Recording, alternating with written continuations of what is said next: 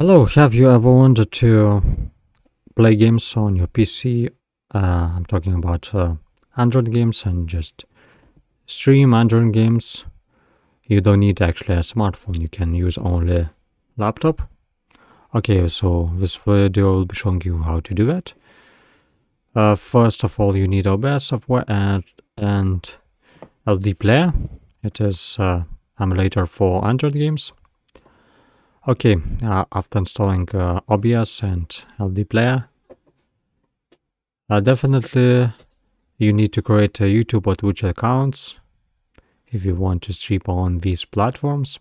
Okay, let's go to settings, stream and connect uh, YouTube or Twitch account with a specific uh, key which you will get after registering to websites okay so uh source sources right now. Two sources i have but it, it these sources are only for recording purpose. Okay so uh first of all we need to add game capture. Press ok and switch mode to capture specific window. Uh choose ld player. Click ok. And right now you see that uh, we have uh, LD player. Let's go to LD player. For this example, I will be using a Clash Royale game, but you can use uh, game whatever you want. Okay. Uh, so right now OBS software is recording only specific window, it is uh, the game. Okay, you can adjust uh, the size of this game. Uh, move.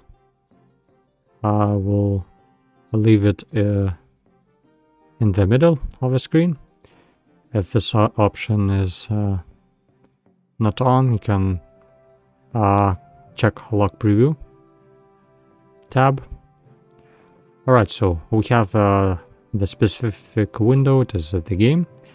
But of course, uh, this view is not so interesting.